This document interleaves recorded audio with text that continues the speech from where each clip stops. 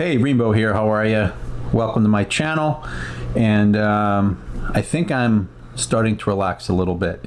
Uh, like many of us, uh, this is the first time in two years I'm actually about to start vacation here pretty soon. And one of the things I'm going to be doing is going to Italy. And I'm going to go to where my great grandparents are from. And on the way down there, on this five and a half hour train ride, I have to go through a particular area that uh, is is pretty close to Tavullia. So it got me thinking, because I've been thinking about this, and this has been in the news a little bit. When it comes to MotoGP, do you guys think that it's time for Valentino Rossi to retire? It's controversial because he's very popular. He draws crowds. He's a good for ticket sales and views. Um, but could he keep up with today's youth? So I been looking at some stats on his career, and he's obviously now the oldest uh, rider in MotoGP. He's certainly proven himself, and I think he's an extremely valuable asset. And I don't think that he's getting slower if you look at a lot of the times. It's just that the younger kids are kind of getting faster and these races are a lot tighter. So i don't know that he has the ability to even make a, a, a podium. So let's look at some of the stats. Um, and what i did is i created a little excel spreadsheet that i ended up bringing up as a um, brought a chart and you can take a look at the chart and if you take a look at this chart I'm just going to screenshot it and talk. Um, you won't see a mouse moving on it or anything. And you look at the dark blue are the number of starts that he has. So obviously he he rides a lot and he's able to get out there.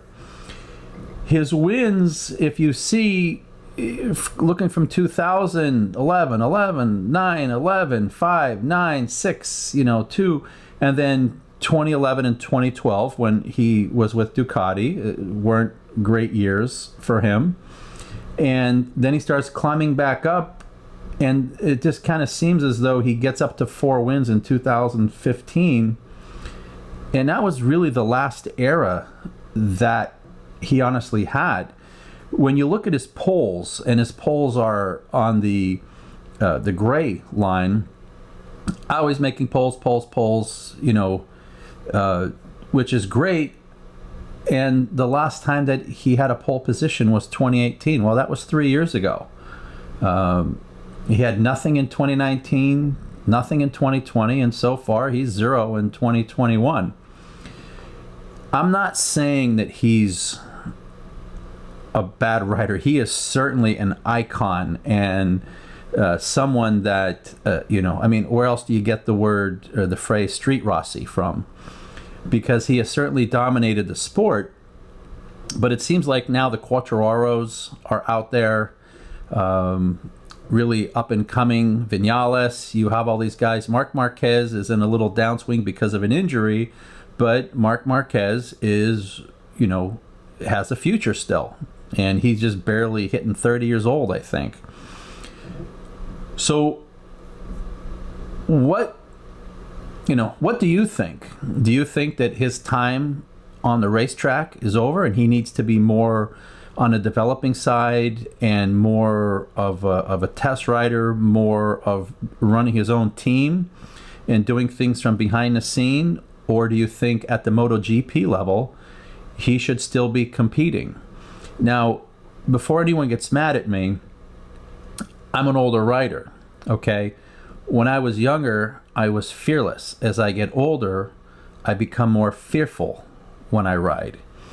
And I don't know if that changes at the MotoGP level or not.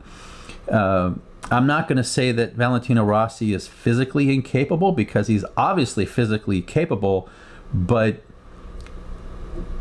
could he get another pole? Does he have it to get another win? Could he even be on a podium? And these are the things that we have to look at. And he did have a podium in 2020. He had two in 2019. And again, if you look at the podiums that are in yellow, you'll see that, wow, you know, 2015 was actually a really good year for him 15 podiums. Then he dropped to 10 in 2016, then the 6, then the 5, then to 2, then the 1, and so far in 2021, 0 after 9 starts so far. All right. So these are some of the things that I'm kind of looking at. And, you know, the light blue color, if you look on this chart, is basically the championship position, like what based on the points. Well, that's the one part of the graph that you don't want to see going up that you want to see down. And if you take a look at that, you know, you can clearly see where he was number one for one, two, three, four, five years in a row, you know, then two years in a row. Um, had the Ducati, even with the without any wins, the Ducati years, he was still seven and six um, as far as the, the his placement because of his ability to ride. But now look at that difference, and this this light blue line is what really shows the difference here between himself and the other riders. The rest of it, it's relevant to his skill and where and, and where he's at. But when you look at the light blue line, it kind of really tells a story. Starting after 2018, uh, he's his he's just dropping down on the points list, and you know all the way down to 19th right now. So is it time to kind of wrap it up after this year? Or should he come back next year with his own team with the VR46? Should he ride for Ducati and try that again? Um, tell me what you think. Put some comments below let's get a conversation going about this. Um, I am going to try to get through Tavullia on my way back uh, from where I'm staying. I'm going down to where my great grandparents are from. It's a like a five and a half hour train ride south of Milan. And I think I'm going to leave there a day early and try to spend a night in Tavullia and uh, try to talk with the people there and see what they think. So maybe I'll have a part two to this video, hopefully, if I can get there. Um, after I come back from Italy. This is Rembo. Have yourself a great day. Let's talk a little MotoGP. Take care.